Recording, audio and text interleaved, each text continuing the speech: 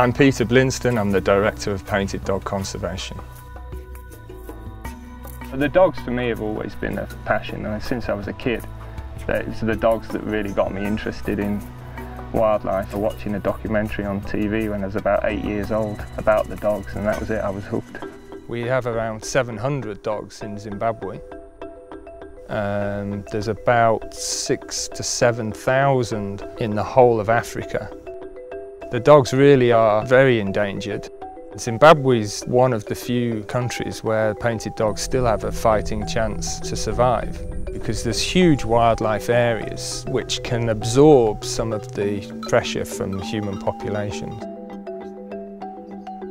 There are particular threats that are driving them towards extinction. At Painted Dog Conservation what we're trying to do is address as many of those threats as we can. One of the biggest threats to dogs in these areas is poaching. Guys setting snares for bushmeat and the dogs get caught in these snares all the time. He had a really nasty snare wound, uh, kind of cut underneath his chin. He's recovering really well, so the reason we built all of this is that over the years we've dealt with a lot of snared, injured, orphaned dogs and we've often had to just treat them in the wild. We've immobilised them, removed the snare, cleaned up the wound and then just let them go. You're leaving them very vulnerable in that state. Like this guy here, a few weeks of recuperation will make all the difference to his chances of survival. One of the first things we did was employ anti-poaching units. Anti-poaching unit is a team of guys. They patrol in the bush. Our aim is to try and remove all the snares that have been set and reduce the number of poachers. Okay, suggestions on where to patrol today, McLean? Our wildlife is in danger if we don't put a stop to it. These guys, they'll collect over 3,000 snares a year and that's three, 400 animals' lives that they save, let alone the number of dogs that they save. And we use those snares then at our art centre to create crafts. We engage 20 to 30 local people at the art centre and they gain employment from that. Yeah, ah, it helps. It, it, it helps a lot yeah, to support families because uh, we are both family guys. Yeah, we are family men. Family men. so yeah. we are we are benefiting a lot. Now, saving painted dogs, really, it's all about helping people. Our bush camp program is one of our flagship programs. We have a thousand children a year that come here. For many of them, it's a really special, once in a lifetime event for them. In the, the, four days that they're with us, they learn all about the dogs, they learn about the environment, the habitat, they experience many new things. They're running up and down stairs, going for game drives, running water, three meals a day, and it's all stuff that we take for granted that it's so new and special to these children that, you know, who come from these very rural communities. And for many of them, it's the first time they'll see any wildlife.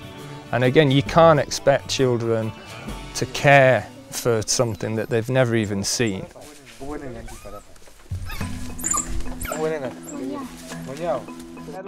Because we take these children in, they're about 12 years old on average, and that's at the age where they don't have any preconceived ideas or opinions and you can introduce new ideas, new thoughts, new concepts to them and suddenly that impala is no longer meat, that tree is no longer firewood, it's a living, breathing, integral part of the system that they are also so dependent upon. and it's only by changing that that the wildlife has a future. It's a life-changing experience of people. You look at Pride, she came here as a 12-year-old.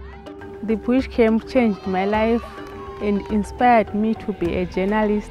I want our community and the whole world to love our wildlife. And that's how it should be. This is their heritage. The wildlife only has a future if these kids care for it. We employ a lot of local people, people like Jealous, who have come from very humble backgrounds and we've trained them up to become real experts, real specialists in their field. I'm the head tracker of Painted Dog Conservation. Uh, it's a moving signal. Dogs. Jealous has won two conservation awards, one from Disney, one from the Van Tienhoven Foundation. He's a role model not only to the children that come to the bush camp, but our own staff and to the community. Maybe they're coming this way. He's an expert in his field when it comes to tracking dogs. This time of the year, the dogs they got uh, pups, so we need to see what kind of movement are they doing. I love my painted dogs. And his status in the community has really risen. I mean, he's quite an ambassador for PDC. Hi, Jealous. Good morning, Peter. How are you? All right, thanks. How was the... Oh, uh, this morning we just went looking for Malpa pig. And his life has changed immeasurably because of Painted Dog. Okay, I'll see you later then, yeah? Okay, thank you very much. Maria was selling baskets on the side of the road. But she was such a personality that when we'd finished building the visitor centre, we gave her a chance here. She's so good with people. A dog by the name called Eye Spot. Painted dogs are endangered species. My mission is to carry the word to each and every country. That is my mission, and I'm getting there. It exposes them. If it was not for the dogs, I think I don't know where I will be. Because of the dogs, I am here. And my life, personal life, has changed.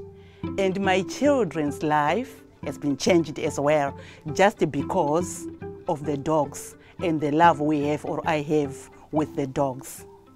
You see? Everything we do at Painted Dog Conservation is about creating an environment where the dogs can thrive. And by working with the communities, delivering benefits to the communities, addressing their needs, you're creating that environment for the dogs to thrive.